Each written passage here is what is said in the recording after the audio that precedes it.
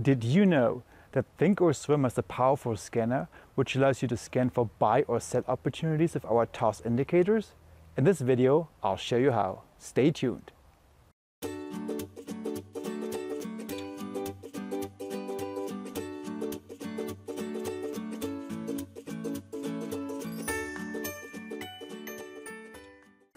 Welcome to Tech Talk. My name is Daniel from tradingindicators.com and in this video I'll show you how to use the TOS scanner to scan for buy or sell signals with our indicators.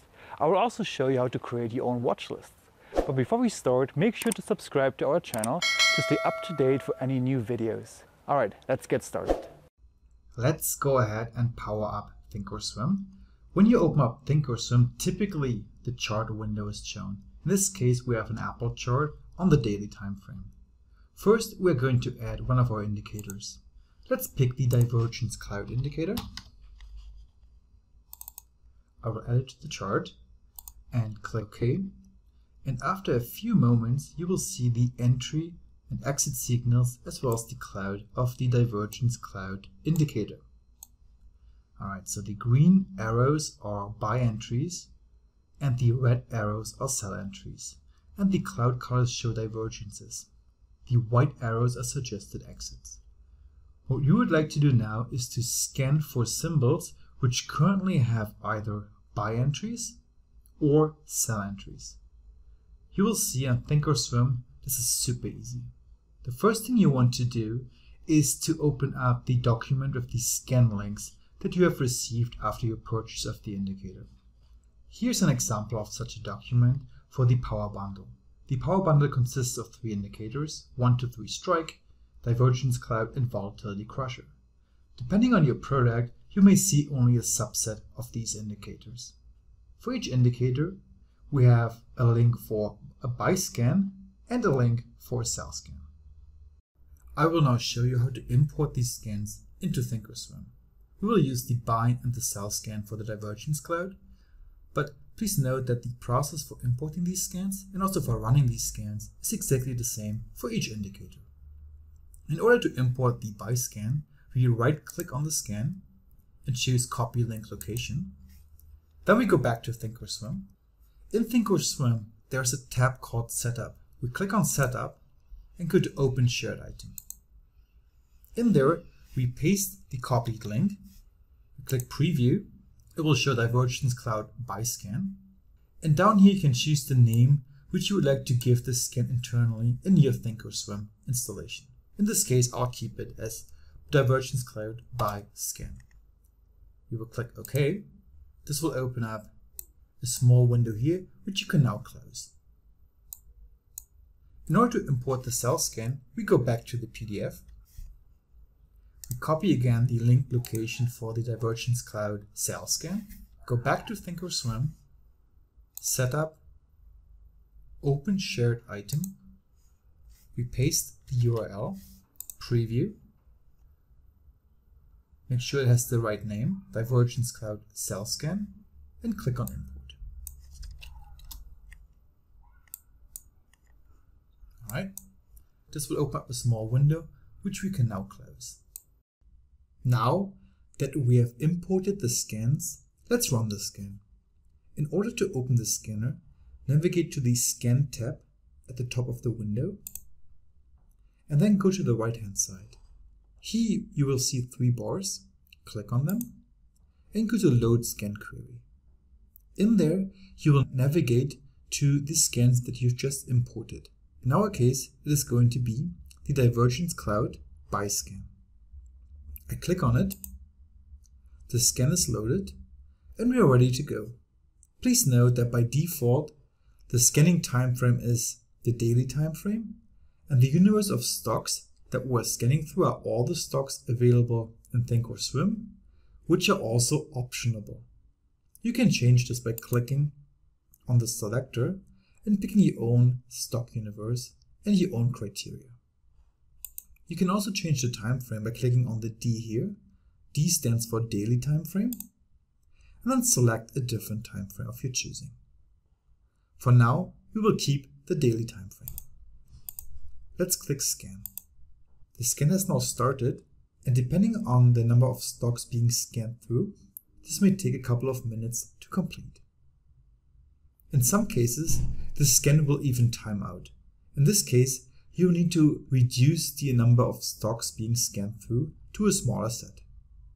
Once the scan completes, you will see the results in this table here. In this case, we'll see all the stocks which have a buy signal on the last candle. Let's verify this by going to the chart. Let's pick ACR as an example. We go back to the chart and we load in ACR. Once fully loaded, you can see that ACR has indeed a buy arrow on its last candle. Let's pick another symbol. Back to the Scan tab, and let's pick FTS for example. Go back to the chart and load in FTS. Once it's fully loaded, it will always take a couple of seconds.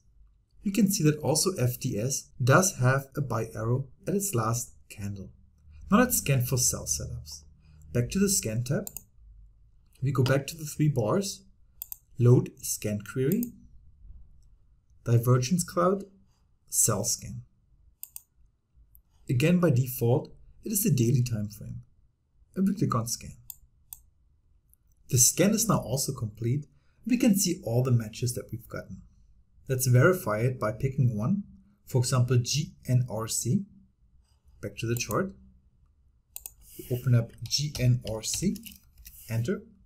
And once it's fully loaded, we can see that also GNRC will have a sell arrow at its last bar, as we can see here. Now, a couple of noteworthy items. First of all, by default, the scanner will work on the default parameters of the indicator. In order to change the parameters to scan through, go to this little pencil icon here. This will open up an editor. Click on Think Script Editor. And once opened, you will see the input parameters chosen for the scan. These are the default parameters. However, you can easily change these by editing these numbers here, click OK, and then rescan. Another important thing is the last parameter in this list, which is called the scan lookback period. By default, it is set to 1. This means we will only pick up stocks which had a signal at the very last bar. But sometimes we would like to go back a bit further. For example, we would like to pick up a signal if it occurred within the last 5 bars. We simply need to edit this parameter to 5 and when we rescan, we'll pick up all the results which happen at the last 5 bars of the chart. So far, we have looked at how to scan for buy and sell signals of the divergence cloud indicator. But as you will see, the process for scanning for buy and sell signals for all of our other indicators is exactly the same. So let's go through one more example. Back to the PDF Let's scan for some different setups. In this case, we're looking at the 1 to 3 strike indicator and for the buy and sell scan. So the same process, we'll copy the link, copy, we go back to TOS, we go to setup, open shared item, we paste the URL, preview, we verify the name, we give it a new name to be used internally and we click on import. We close the window and we repeat the same process for the sell scan. Copy, back to TOS, setup, open shared item, paste the URL, preview, verify the name, and give it an internal name.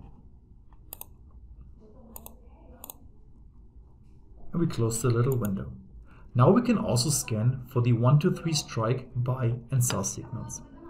As an example, let's just go and load the buy scan. Load scan query, 1 to 3 strike buy scan, and we click on scan. The scan is now completed. Let's verify the results. In this case, let's pick AGCO. Back to the chart. we first will open up the 1 to 3 strike indicator and we will also remove the divergence cloud indicator.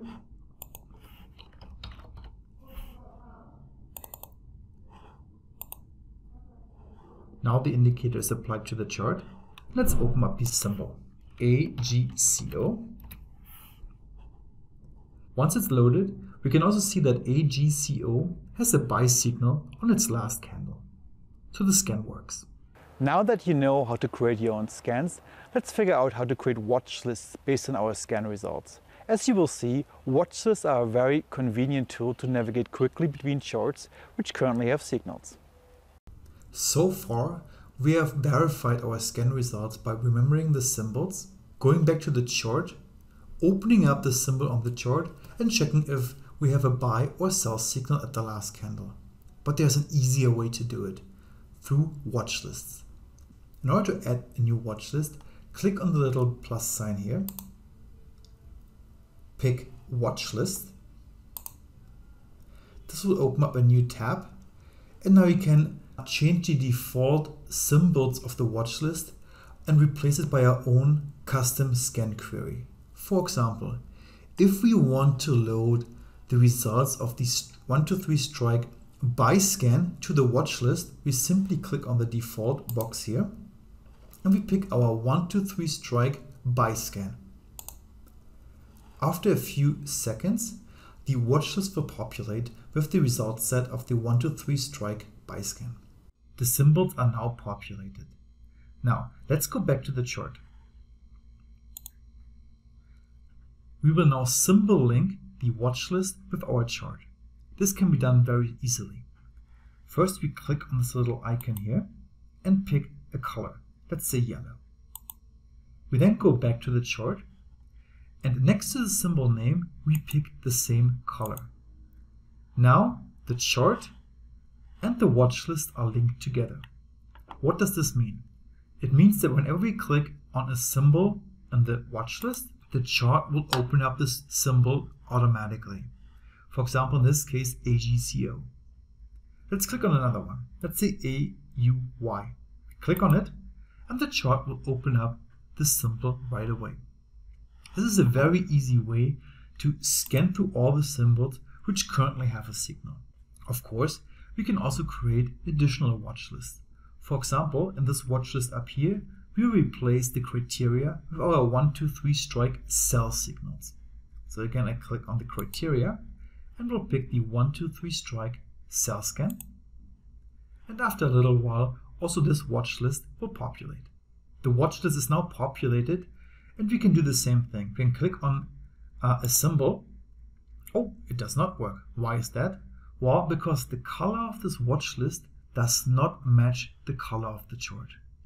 Here we have a 1 in red and the chart has a 2 in yellow. So in order to symbol link the chart with also this watch list, all we need to do is to change this number here to 2 yellow. Now the watch list is symbol linked with the chart. So let's test it. Let's click on CL. The chart will load CL and you can see that we have indeed a 1 to 3 strike sell signal at the last bar. This concludes this video on how to run scans and create your own watch list based on our TOS indicators.